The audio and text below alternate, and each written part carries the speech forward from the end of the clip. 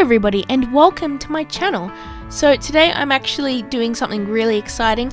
I am making an artwork for the YouTube Artist Collective. Now if you don't know what the YouTube Artist Collective is, it is a group of artists here on YouTube who are also on this Facebook page and basically they all do a big collaboration every two months. And yeah, the theme for that collaboration is actually voted for by everyone on their uh, their, their Facebook page. And I'm very, very excited to announce that I'm actually going to be a guest artist for them for this month, which is very exciting for me. So, the members of the YouTube Artist Collective include Monique Renee, Chloe Rose Art, Hello Alice, Lemia Crescent, Art a la carte, Baylee Jae, Mira Byler, Sophira Lou, Kirsty Partridge Art, Danica Sills, Mistiq Arts, Jel Arts, Sakuems, and Brushes and Bunnies. And to be honest, these are all artists that I am subscribed to on YouTube, and I find them a really big inspiration. And to be honest, I'm a little bit fangirly at the moment for me being a part of this uh, collective for this month. So now that we got all of that talking out of the way, I'm gonna start talking about the art now. So the theme that was voted for this uh, artwork was Masquerade Ball. And to be honest, when I seen this theme, I actually really, really liked it and I hoped that one would be chosen, and it was. So when I was coming up with a concept for this illustration, I decided I really wanted to do an artwork depicting a cute couple, kind of, I guess. Um, I really wanted to have them wear masks resembling specific animals, and I wanted to go a little bit further than what I've usually been doing with my art. I wanted to make this one fancy pants. So as you can see, I'm actually inking uh, these characters onto separate pieces of paper. Now this is for a specific reason, and that is that I kind of wanted to give him a little bit of a 3D effect for this artwork. So it looks like it's multiple drawings, but don't worry, it's going to come together into one illustration. And to be honest, this idea came to me uh, very randomly, and um, I actually was so excited to do it. So as you can see, I'm sketching out the masks now, and I decided for her mask to be of a mouse, and his mask to be a parrot. And now this was mainly because I wanted their color schemes a little bit different from each other to show that they're they're sort of different people from different walks of life, I guess. So hers is a sort of uh, warm grey kind of color, and his is a very flashy, bright kind of color. So as you can see, I am using my Copic markers for this artwork, and I am actually drawing on X-pressit blending card. Now as you saw earlier, I actually sketched these out onto printer paper and then I used my Lightbox to transfer the liner over to some fresh uh, X-pressit blending card. Now this is mainly because I don't often like to sketch on my blending card because it's expensive paper and I feel that the markers lay down better when you haven't drawn and erased on the paper. Now, as I was drawing this artwork, I can't help but come up with like little backstories and um, things about these characters because, to be honest, when I'm really feeling an artwork, when I'm really loving it, I can't help but make these stories up in my head and then I kind of just have to say them. So, some backstory for this character here. He's not exactly royalty or anything, but he is quite well off. I believe he is related to a lord somehow. and um, yeah, he was at this ball and uh, masquerade ball, obviously, and he decided to, uh, you know, mingle with people. And he came across this young lady here, which is also in the artwork. Now, the young lady um, I'm actually mentioning she is not as well off, but she is very hardworking. She's definitely not poor or a peasant or anything like that. However, she is slightly lower class. However, she does have a cousin who married into a wealthy family. So of course she got invited along to this ball.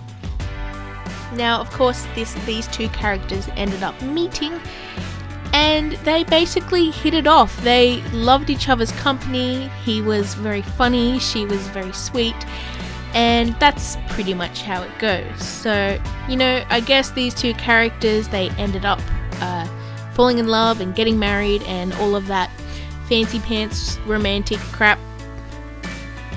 And I guess they ended up having a very good life together. But yeah, this is actually the moment where they just meet, and he asks her to dance, and that's it.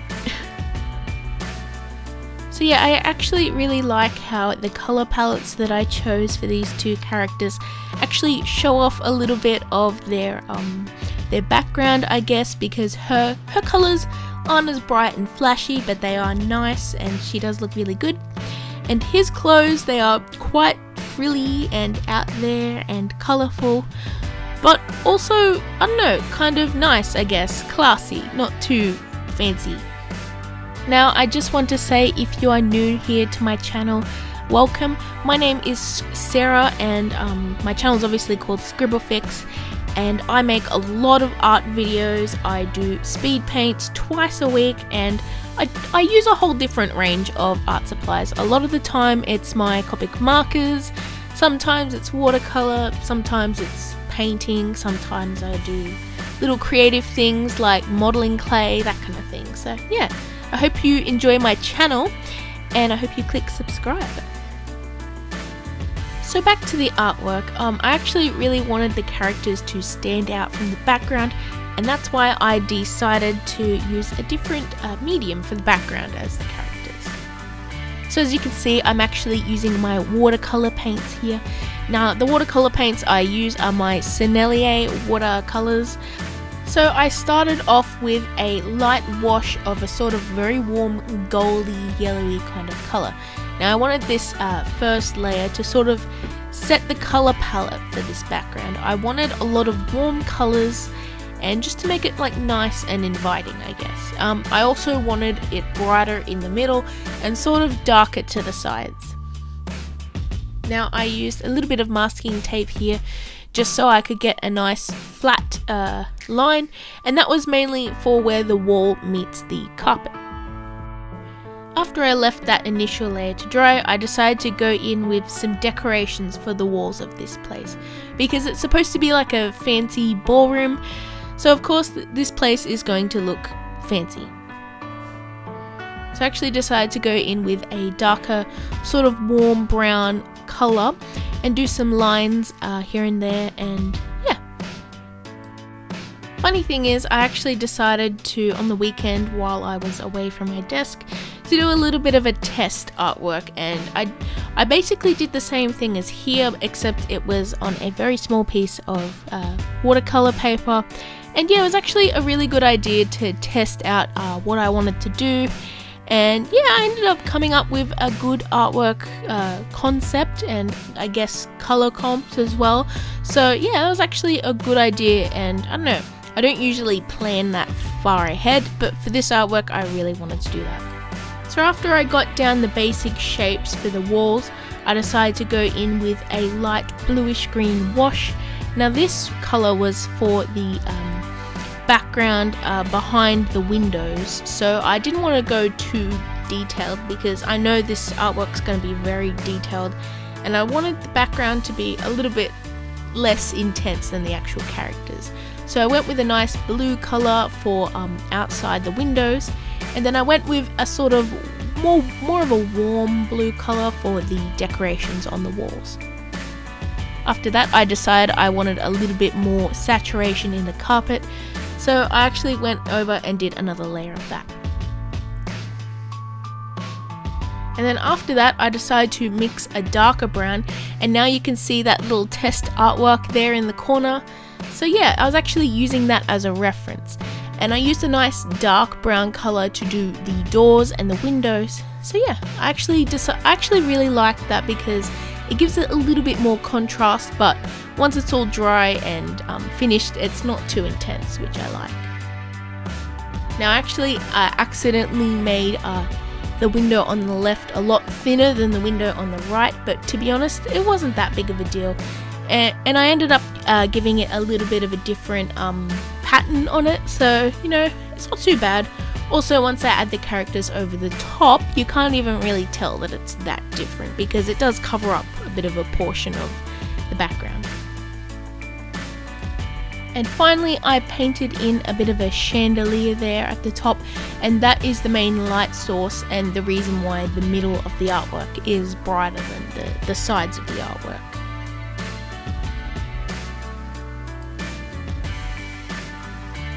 After a few extra details here and there, like some paneling on the doors and shadows here and there, and yeah, that was mostly it for the background. And to be honest, I really, really do like this background, and yeah, I'm pretty happy with it. Now, uh, finally, I got that done, and I went on to cutting out the characters and their masks. Now, I'm using my little uh, craft knife here, and I had to be very careful to make sure that the cuts were nice and neat, and also that I didn't hurt myself because I am to be honest, I'm very accident prone. So I was like, please do not cut your fingers off, Sarah. Miraculously, I ended up uh, doing it nicely and without injuring myself too, so that was a bit of a win for me, I think. Now, for these uh, masks, I decided to have the, the mouse's whiskers in the cardboard or cardstock that the paper is now that was a little bit scary for me because it, it the whiskers were very thin, so I was really worried about accidentally cutting them off. But you know what? They ended up doing alright. So now that I have cut all of them out, I decided I wanted to add a little bit more extra to this artwork. As you can see, I have purchased some little craft feathers from um, Spotlight, and I intended to use these for uh, the guy's mask. Now I wanted to add a little bit more featherage. Is featherage a word? I wanted to add a little bit more details to his mask, so I actually decided to grab some feathers and stick them to the back so that they come out like that. Decided to go for a red and a purple feather because I thought that they would fit nicely. Now to stick these artworks down on their background, I am using these X-pressit foam mounting squares. Now I'm just using a few here and there on the outside and a few on the middle of these characters and yeah it actually sticks down really well and you know holds up and it gives it a little bit of a 3D effect as well which I really really like. Now for his, I, I wanted him to be a little bit more standing out from the background, so a little bit closer to the, the viewer. So I actually decided to stick two uh, of the foam mounting squares together so that he would stick out a little bit more. Now that I got them down together, this artwork is starting to come together and this is where I get really excited because I have been waiting so long to see what they look like together and once I put them down on the background, it's like all coming together and I'm like, ee. So yeah, for, for the masks, I decided to cut some of the mounting squares into smaller pieces so that I could actually get them on there without them showing out of the sides. And yeah, it actually worked really well. I stuck down some of the uh, sticky things to the mask and put them on. And to be honest, they look so cute in those masks. I think that, I don't know, I don't know, it just kind of brings the artwork together, I think. To be honest, this artwork I am so, so proud of. I don't know why, I just feel really happy with this artwork and I don't know, it feels like it's a step up from my art, if you know what I mean. It's, it's a little bit better, it's kind of closer to the direction that I actually want to take my art into. So I'm so pleased with that and yeah. Now I just want to say if you are interested in this artwork, I will have prints up on my Redbubble. I'm a little bit too attached to it to actually sell the original, but links to my print shop is down in the description. So here's the final artwork and yeah, I am I don't know, I kind of just blew my own mind here with this because I did not think that it would turn out this lovely and I, I'm not trying to talk up my art or anything. It's just when you're really, really proud of an artwork that you make and you can't really think of anything bad about that artwork, it's it's a bit of a rare feeling for me. So yeah, I'm I'm just happy. so thank you guys so so much for watching and make sure you go and check out all of the other artists amazing artworks. I am so excited to see them. I can't wait to see what they did.